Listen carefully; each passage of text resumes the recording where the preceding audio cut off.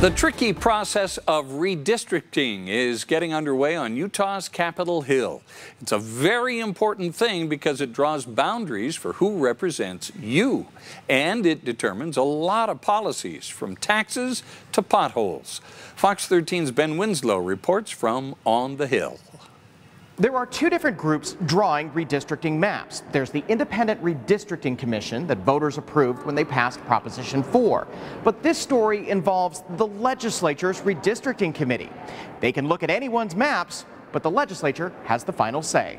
So I've got five plans here. At the meeting of the legislature's redistricting committee, Stuart Hepworth came prepared with his own maps. I'm hopeful that uh, the public will be able to bring maps uh, that the legislature will adopt maps proposed by the public, like the, these that prioritize keeping communities of interest together. The committee got the latest data from the 2020 census, and there were surprises. For example, this map shows where Utah's population has shifted, and what the committee was told is there's been declines in places like Weber, Davis, and the north end of Salt Lake County.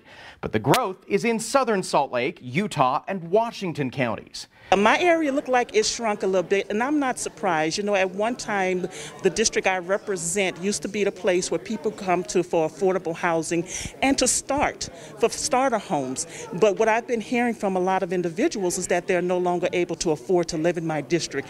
And so as a result, they are moving out. That's going to impact the political boundaries. The committee is tasked with drawing lines for Congress, school board, and legislature, and the districts have to have a pretty equal population. But as we start doing maps and that ripple effect's going to have a lot to say, even in northern Utah, what happens just because of that Salt Lake, uh, Utah County area.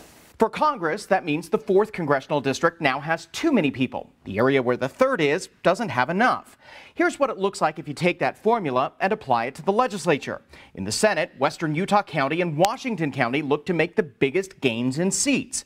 In the House, a lot of rural areas could see some boundaries shifting, while Utah County again picks up seats. It's going to be a daunting task. Now the hard work begins, and they want you, the public, to draw some maps. People draw maps and bring those to our outreach sessions and explain why they drew that map that way. But if you want to draw a map, you've got to draw one for the entire state. You can't just draw your own district and call it good.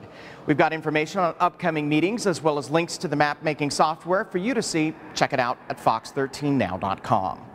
On the Hill, Ben Winslow, Fox 13 News, Utah.